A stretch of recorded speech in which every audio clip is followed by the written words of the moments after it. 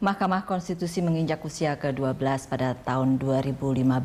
Apa fondasi yang kemudian dibangun MK di masa Hamdan Zulfa dan apa saja kemudian pekerjaan rumah agar MK tetap menjadi benteng konstitusi yang dipercaya oleh publik? Hamdan Zulfa adalah ketua keempat sepanjang Mahkamah Konstitusi berdiri. Sebelum itu ada Jimli Asyidiki dan Muhammad Mahfud MD. Lalu ada Akil Mokhtar yang memimpin MK teramat singkat. Hanya enam bulanan lantaran tersungkur korupsi. Hamdan Zulfa, kelahiran Bima, Nusa Tenggara Barat menakodai MK sejak November 2014. Masa-masa yang sulit bagi benteng konstitusi itu.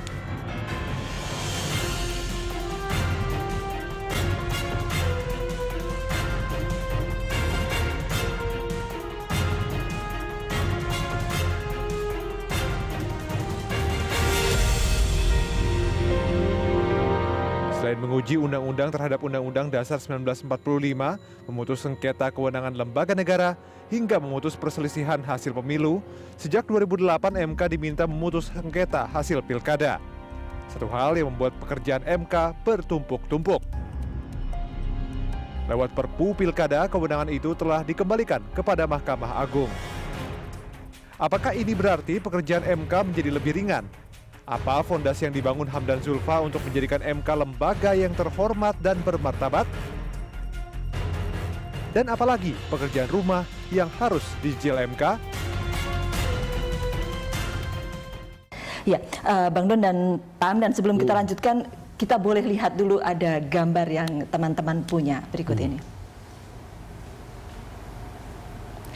Ini acara Pak Jokowi ke MK peresmian Museum MK ya, ya Pak Pusat ya? Sejarah. Pusat Sejarah namanya. Apa saja yang ada di situ, Pak Hamdan? Jadi di situ menggambarkan uh, suasana pra penjajahan, hmm. suasana penjajahan, suasana kemerdekaan. Jadi semua dibuat dalam bentuk uh, dalam bentuk teknologi, hmm. ya, seni dan sejarah. Hmm. Jadi hanya satu kali touch screen hmm. kemudian semua terbuka. Ya, semua terbuka. Mau cari apa touch screen semua hmm. terbuka dengan layar yang bagus. Kemudian ada sistem hologram. Hmm. Jadi Soekarno membacakan proklamasi dengan hologram. Hmm. Kita berdiri di situ langsung mengucapkan proklamasi. Hmm. Jadi seluruh sejarah konstitusi uh, ada di situ dan kalau kita mau mencari putusan Mahkamah Konstitusi, kita touch screen tahun ada berapa nomor berapa semua keluar seluruhnya Apalagi memang selama ini kan seluruh persidangan di situ kan transparan sudah dan silakan terbuka ke kampus-kampus juga Betul. bisa dinikmati. Di 42 kampus seluruh Indonesia hmm. kita buka. Jadi sangat transparan sekali. Satu hal Pak Ketua, karena ada urusannya tadi pilkada itu kan kalau tadi dibilang bahwa ada jejak di situ kan pilpres lalu kemudian keluarnya sengketa pilkada dari uh, MK. MK. Sekarang dia akan mengadili perkara untuk mengadili perkara yang berkaitan dengan konstitusi ya undang-undang yang tidak sesuai dengan itu. ya, dan kita tahu bahwa DPR itu banyak muatan politisnya ada undang-undang yang kualitasnya dianggap tidak bagus ada bahkan undang-undang yang disponsori karena uang. Diduga disponsori Dis, begitu ya. disponsori. kalau pandangan Pak Ketua tentang ini? Memang ada beberapa kemungkinan ada kelalaian dan kecerobohan satu. Kelalaian dan kecerobohan itu kadang-kadang eh, undang-undang itu dibuat secara tidak bukan tidak serius tapi kecerobohan itu. Jadi kadang-kadang tidak sinkron antara satu undang-undang dengan undang-undang tumpang tindih. Ya tumpang tindih. Problemnya yang setelah, setelah saya teliti, undang-undang itu dibuat oleh komisi tertentu.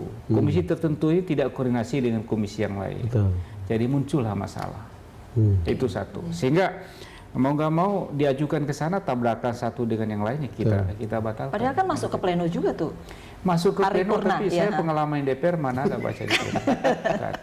Walaupun masuk cuma ketok palu. Ketok palu. Walaupun masuk paripurna tapi ya tidak cuma ketok palu situ. Itu satu kecerobohan. Hmm. Dan banyak kecerobohan semacam itu. Hmm. Ada juga kemungkinan besar itu kesengajaan. Hmm. Tapi kesengajaan yang mungkin tidak disadari betul bahwa itu bertentangan dengan konstitusi. Hmm. Jadi mungkin ada para pengusaha atau para apa yang meloloskan suatu undangan sehingga terjadi liberalisasi yang luar biasa. Betul. Nah akhirnya masuk di MK ini liberalisasi yang tidak sesuai dengan prinsip konstitusi apa boleh buat. Kami kembali lagi kepada falsafah negara. Dengan dasar falsafah negara kemudian di cross check dengan undang-undang yang ada yang ternyata jauh. Apa boleh buat kita batalkan seluruhnya dan itu banyak. Dan itu banyak. Kalau diteliti betul banyak mestinya. ya? Itu banyak. Jadi artinya walaupun sengketa pilkada Terutama tidak di bidang ya, ya. ekonomi dan sumber daya alam. Oke. Minerba. Minerba. Ya termasuk. Hmm. termasuk dan yang kita batalkan itu secara keseluruhan hampir secara keseluruhan misalnya undang-undang eh, undang-undang apa namanya perairan pesisir dan wilayah Nah, hampir yang pemberian HP3 jadi dengan undang-undang itu diberikan hak eh, hak pengelolaan Betul. pesisir dan pulau-pulau kecil seluruh Indonesia. Saya bisa bayangkan kalau semua investasi di pesisir, di mana wilayah nelayan lagi? Hmm.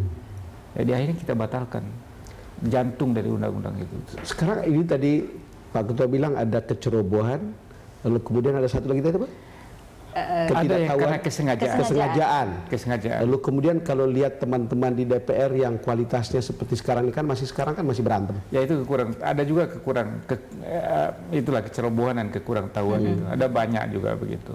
Ya. Jadi artinya walaupun saya melihat pilkada tidak di situ masih banyak kemudian mereka kasusnya. membela datang di MK dengan berapi-api tapi salah gitu.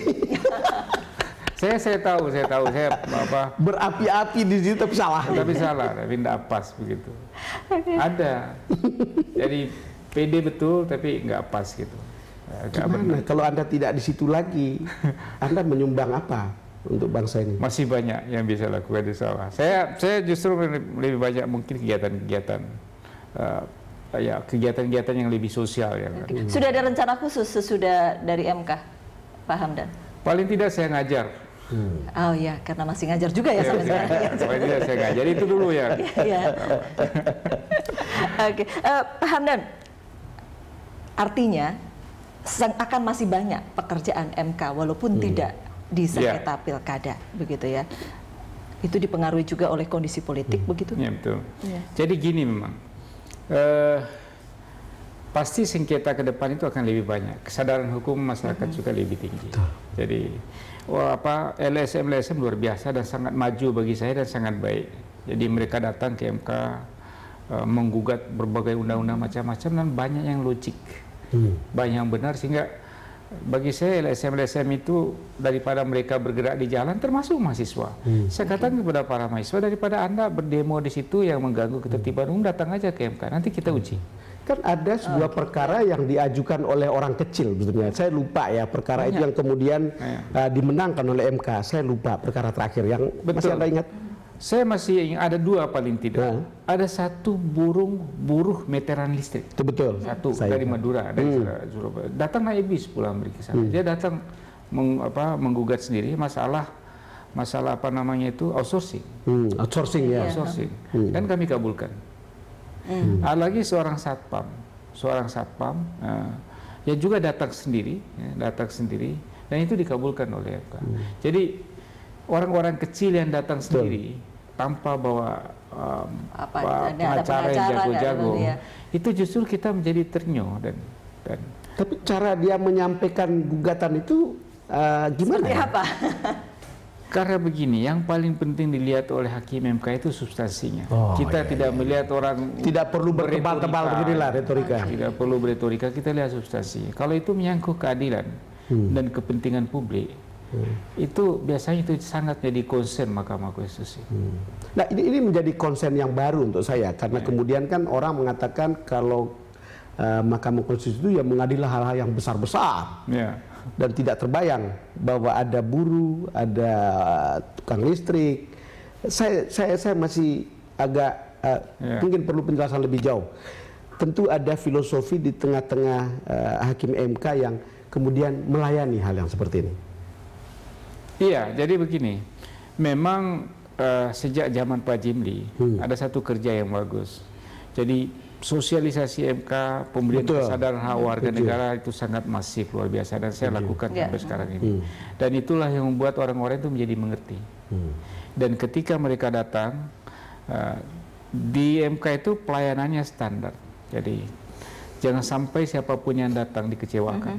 Hmm. Ya, dikecewakan, dilayani dengan sebaik-baik siapa pun, kemudian dikasih nasihat dan nasihat dari bawah ini biasanya cukup bagus. Naik kepada sidang hakim hmm. diajukan itu sudah sudah bagus. Karena kita katakan bahwa ini orang-orang kecil dikasih nasihat saja untuk perbaiki. Tidak usah disuruh pulang begitu iya, dikasih contoh biasanya dikasih contoh. Sengketa perundang-undangan tidak ter, tidak selalu harus hari yang besar begitu ya dan Pak Hamdan ya?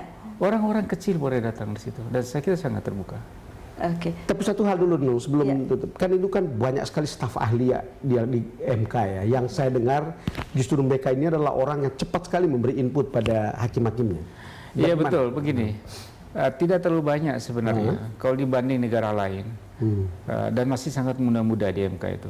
Rata-rata master. Hmm. Uh, totalnya ada 25 orang. 25 hmm. orang. Tapi menempel pada hakim itu uh, dua orang eh, bukan 25 ya lebih hmm. eh, lebih tapi tidak sampai 30 hmm.